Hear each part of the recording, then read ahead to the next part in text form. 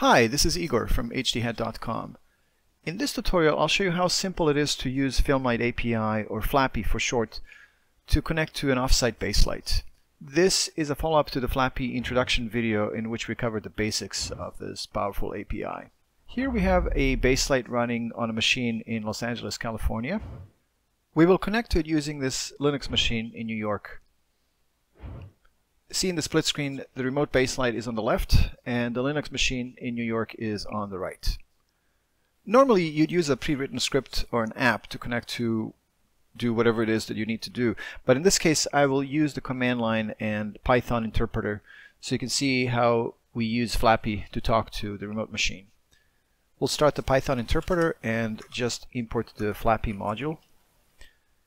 I will assign the IP address of the remote machine in Los Angeles to this variable called host. Then we'll create an instance of the FLAPI connection using the host IP address. We'll then call the connect method. And here's the remote machine answering true, which means we're connected. To verify that we're indeed talking to the remote baselight, I will get the application info like this. The remote machine answered with uh, some basic stats here. Now we know that we can connect to this remote machine.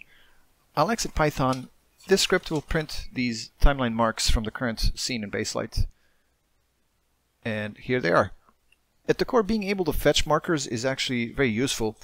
Of course, a client wouldn't be using the command line to pull in your markers remotely, but any of the information we fetch through FLAPI can be presented in a nicer form.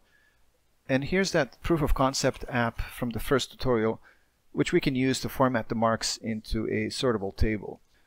For further study, I have some FLAPI examples at my GitHub. Please make comments below if there are any particular things you'd like to automate or solve using FLAPI. Thanks for watching.